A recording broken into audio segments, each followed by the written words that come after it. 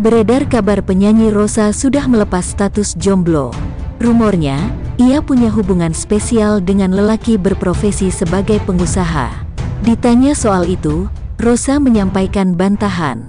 Kata siapa? Enggak, enggak, kata Rosa ketika ditemui di kawasan Kebayoran Baru, Jakarta Selatan, Sabtu, tanggal 18 November tahun 2023.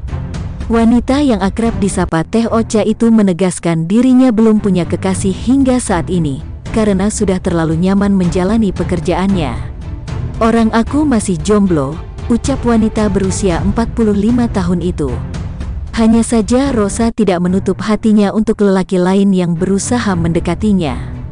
Ia memastikan siap menjalin hubungan spesial dengan pria pilihannya.